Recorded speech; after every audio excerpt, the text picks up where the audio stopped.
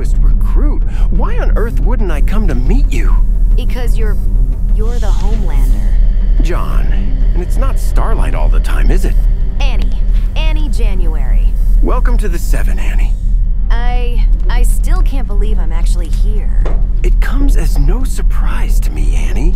Your performance in the trials was remarkable. We allow very, very few newcomers in the Seven. We simply can't afford to take the risk. I know. Please don't think I'm not taking this seriously. It's just, you know, I've admired you for as long as I can remember. Your incredible kindness, how wise you are. You're going to have me blushing in a moment. Oh, I'm sorry. You know, this is amazing. I mean, back in Des Moines with the young Americans, we didn't have anything like this. There were times we had to meet at my aunt's apartment. Do you think you'll miss them? I'm sure I will. Is there someone special? Drummer boy from the team. We actually met at Capes for Christ, in one of the junior ministries. That's great. And, you know, we didn't want to ruin things. We're waiting. That's great.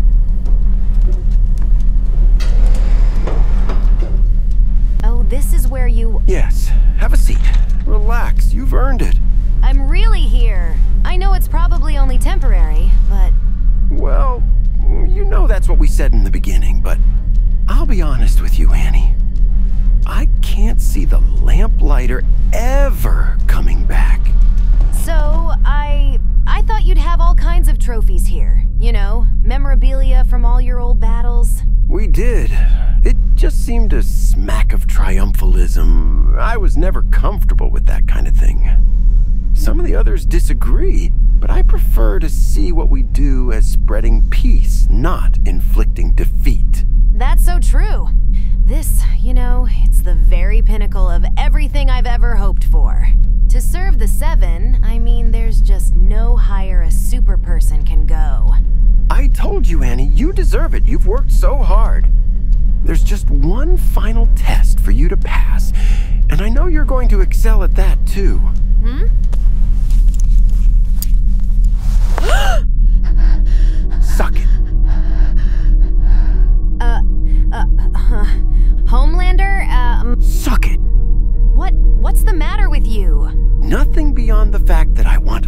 Blowjob and incredibly seem to be encountering communication difficulties. You, you can't, you can't mean it. You just can't mean it. Hey, what's up? Black Noir and A-Train. Oh, thank the Lord.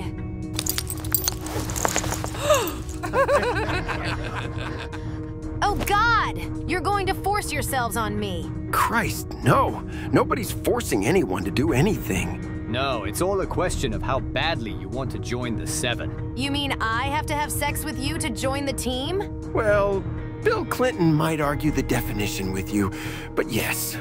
But you're the Seven for crying out loud. I mean, this is completely disgusting. It's a betrayal of everything you stand for.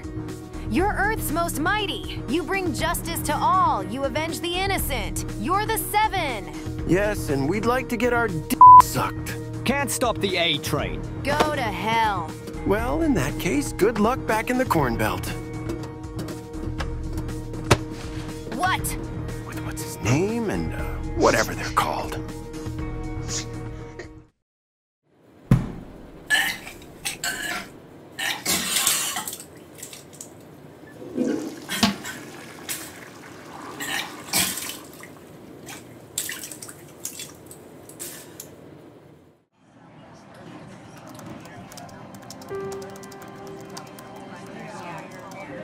What I know? I think I'd have to say it's a lot more than you do, Hughie. But that's not your fault. It's because I've kept so much from you. I don't even know if it's a good idea to tell you everything. It might be absolutely terrible. And when you read what I have to say, you'll see why. Everyone says it's bad to have secrets in a relationship. It's always better to get things out in the open, but I'm a little suspicious of the idea. I wonder if it might be better just to be discreet. Anyway, you're not interested in what you call soups, so you don't know I'm a superhuman. My name is Starlight. I can fly and I can generate bursts of intense bright light. Someone once told me as much as 1 million candle power. I'm also a member of the Seven, the most powerful super team on Earth. They're horrible people, and I wish I'd never met any of them. I'm getting ready to quit. The other thing you don't know is what I did to join the Seven. I don't know how to put it into words. I mean, I do. It's obvious. What I mean is, I don't know how to make myself type the words. Just thinking it is hard enough. What I did was so disgusting and demeaning and unbelievable that I'm scared you.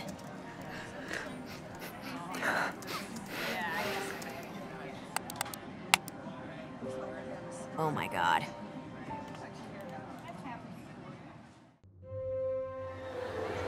Muslims and Jews and the Buddhists and all the other people who believe what they believe, and the atheists, especially the atheists, they're all wrong. And that's the first thing you have to accept. As a Christian, there is no compromise, no considering other points of view, no meeting anybody else halfway. You either believe in Jesus Christ as your personal savior, or you don't. And if you don't, I, uh, I pity you. Because turning your back on the Are there more like her, do you think?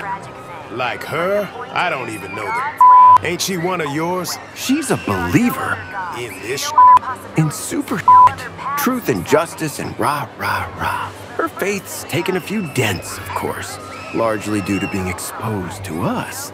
And it got a little compromised at the beginning when she blew me and two of the others just to get onto the team.